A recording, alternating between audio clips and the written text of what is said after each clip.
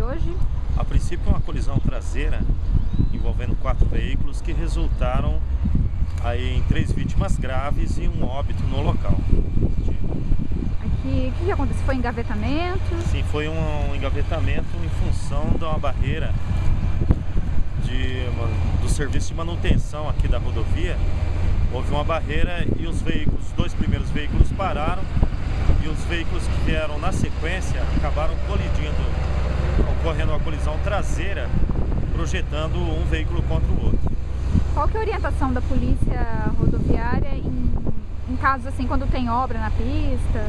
É que eles mantenham a distância de segurança de um veículo para que não ocorra uma colisão traseira. Essas, essas, essas obras são contínuas, embora existam é, sinalizações, o pessoal ainda procura andar muito colado na traseira do, do veículo dianteiro e isso pode causar a colisão traseira e resultar nessa fatalidade que ocorreu aqui hoje.